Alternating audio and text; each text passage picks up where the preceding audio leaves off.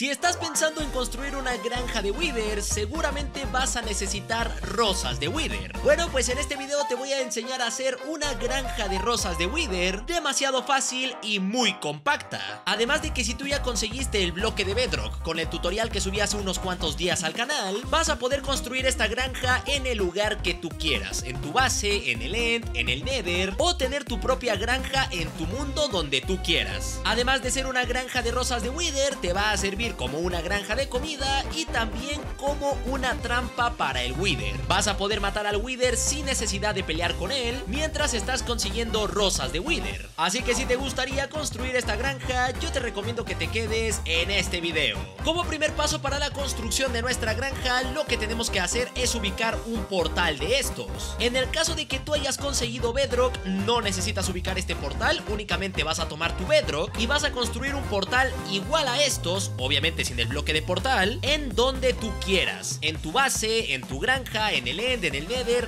donde tú quieras. Únicamente tienes que colocar dos bloques de bedrock aquí, rodeas el primero con bloques de bedrock, colocas bloque temporal, otro bloque de bedrock y rodeas este bloque de bedrock también así y quitas los bloques temporales que hayas utilizado. Y listo, ya tienes tu portal construido. De esta forma vas a construir un portal exactamente igual a este, pero en donde tú quieras. Si vas a hacer esta granja cerca de tu base o en el mundo normal, debes de saber que necesitas conseguir Bedrock, pero no te preocupes que hay un tutorial en el canal de cómo conseguir Bedrock 100% en supervivencia. En el caso de que tú no hayas construido Bedrock o lo quieras hacer aquí, nos vamos a ubicar en un portal de estos. Vamos a colocar aquí bloque temporal, aquí colocamos un bloque de podzol, quitamos el bloque temporal, colocamos 6 bloques temporales, 1, 2, 3, 4, 5 y 6. Arriba colocamos bloque sólido y quitamos los bloques temporales. Vamos a tomar un hongo rojo, lo colocamos en el podzol y tenemos que hacerlo crecer con polvo de hueso. Le damos polvo de hueso y va a crecer nuestro hongo de tal forma que destruya el portal de aquí. O sea, ya no existe portal. Ahora simplemente vamos a quitar todos los bloques, incluso este bloque, y quitamos todo el hongo. Ya que hayamos destruido el portal del End Gateway o de que hayamos construido esta estructura en cualquier otro lado, vamos a pasar a la parte de abajo y vamos a bajar 6 bloques. 1, 2, 3, 4, 5 y 6.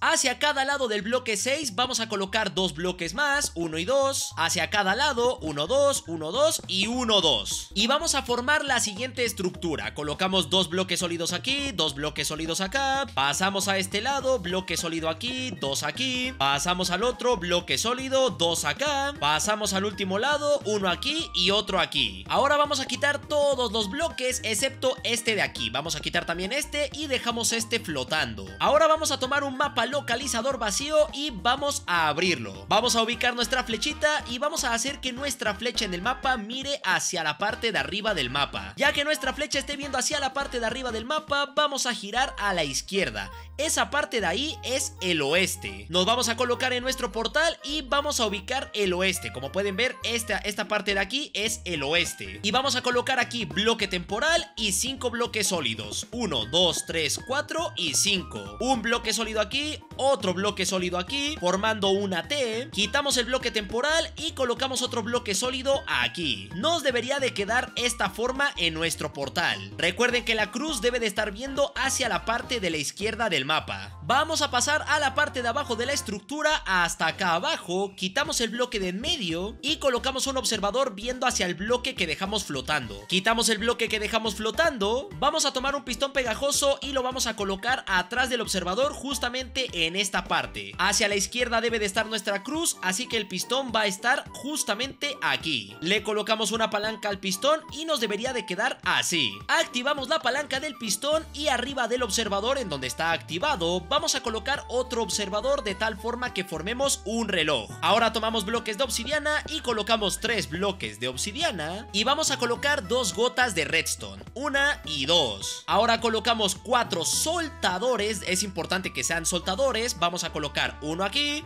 otro aquí, llevamos dos, otro aquí son tres y cuatro. Desactivamos la palanca y vamos a colocar ahora dos dispensadores. Es importante que sean dispensadores. Colocamos uno aquí viendo hacia el centro y colocamos otro aquí también viendo hacia el centro. Y vamos a colocar seis bloques de obsidiana aquí atrás. 1 y 2, 3 y 4, 5 y 6. Colocamos también dos bloques arriba de los dispensadores y colocamos dos cofres aquí arriba del pistón y del observador. 1 y 2. Arriba del cofre justamente en la parte de medio colocamos una tolva. Ahora colocamos 5 bloques de obsidiana. 1, 2, 3, 4 y 5. Justamente arriba de la tolva es en donde vamos a tener a nuestros pollitos. Si ustedes quieren taparlo con obsidiana no pasa absolutamente nada, pero también pueden colocar un cristal para ver a los pollitos. Pasamos a la parte de arriba y vamos a colocar 8 bloques de obsidiana, 3 aquí, 6 aquí, el séptimo aquí y el octavo aquí. Ahora vamos a tomar dos tolvas y las vamos a poner de cada lado, del lado derecho y del lado izquierdo. A cada tolva le vamos a colocar un cofre y adentro de estos dos cofres vamos a meter unos cuantos huevos. Yo les recomiendo que empiecen con unos cuantos únicamente para tener pollitos aquí adentro y cuando sus pollitos crezcan también les van a estar dejando huevos en este cofre, los cuales van a poder reutilizar para volver a meter más huevos aquí y tener más rosas de Wither. Ahora como siguiente paso para proteger todo este mecanismo vamos a pasar aquí hasta donde llega la obsidiana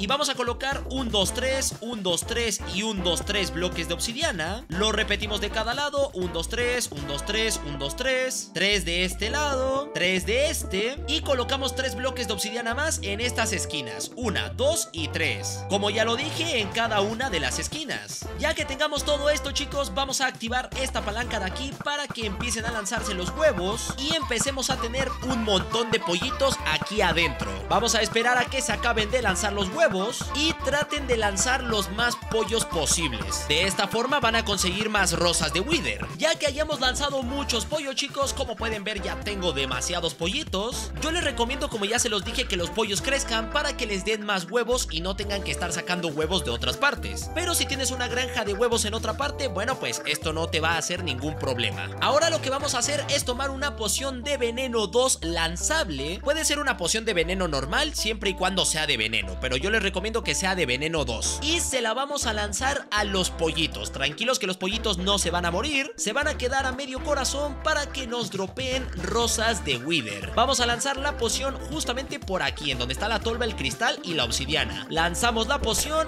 y como pueden ver ahí los pollitos empiezan a sufrir daño y listo ya no vuelven a sufrir los pobres, ya no van a estar haciendo ruido y actualmente ya se encuentran a medio corazón. Ya que tenemos todo esto chicos, ya llegó la hora de invocar a nuestro Wither, pero yo les voy a dar una pequeña recomendación. Si ustedes pueden pasar la dificultad a fácil, es mucho mejor. No pasa nada si está en difícil, ahorita les voy a explicar qué es lo que pasa. Lo que pasa es que cuando está en difícil y el Wither se encuentra sufriendo daño, empieza a lanzar cabezas como loco por todas partes. Entonces te va a romper todo lo que tengas alrededor y también esta plataforma. Obviamente no te va a romper lo de los pollitos, no te preocupes, ya que esto se encuentra justamente abajo de él y no puede lanzar cabezas porque aquí tiene bedrock. Y en la dificultad de fácil el Wither no lanza tantas cabezas y no te va a destruir absolutamente nada. Voy a invocar al Wither en la dificultad de difícil para que vean qué es lo que pasa y ya ustedes decidirán cómo es que lo quieren hacer. Vamos a colocar nuestras tres cabezas para invocar al Wither y como pueden ver se encierra aquí en la bedrock. Vamos a esperar a que aparezca y van a ver qué es lo que va a pasar con los pollitos. Adiós pollitos, ya no existen, se llamaban pero ustedes van a tener aquí sus rosas de Wither, como pueden ver. Y como pueden ver, el Wither con la explosión y con tantas cabezas ya empezó a destruir todo a su alrededor. No se preocupen ya que todo lo que rompe el Wither lo van a recuperar. Todos sus bloques de obsidiana, la redstone, todo, todo lo van a recuperar. Lo que destruye el Wither te lo da al 100%. Incluso estos bloques los vas a recuperar al 100%. Y como puedes ver, el Wither lanza demasiadas cabezas como loco. Por eso yo les recomiendo que pasen a la dificultad de fácil y como pueden ver el Wither no lanza ni una sola cabeza. De esta forma ustedes pueden tener sus construcciones completamente seguras y solo tienen que pasar la dificultad a fácil por un momento en lo que el Wither muere. Ahora solo faltaría esperar a que el Wither muera chicos para que esta granja quede completa y la podamos volver a utilizar. Además de que vamos a conseguir una estrella de Wither sin que tengamos que pelear contra el Wither. Si ustedes son súper ricos pueden pasar a pacífico y repetir el paso, pero esto no es necesario,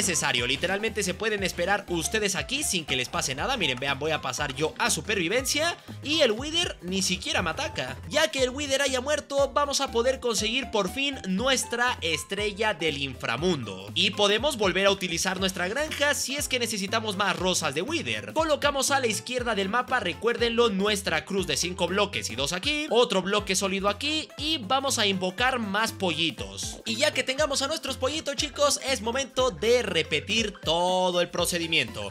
Que ya les digo que con uno o dos Withers van a tener suficientes rosas de Wither para hacer cualquier granja de cabezas de Wither. Nuevamente podemos esperar a que nuestro Wither muera y conseguir otra vez nuestra estrella del inframundo. Como siempre chicos, de mi parte esto ha sido todo. Si te gustó, por favor regálame un buen like, suscríbete para más y nos vemos en próximos videos chicos.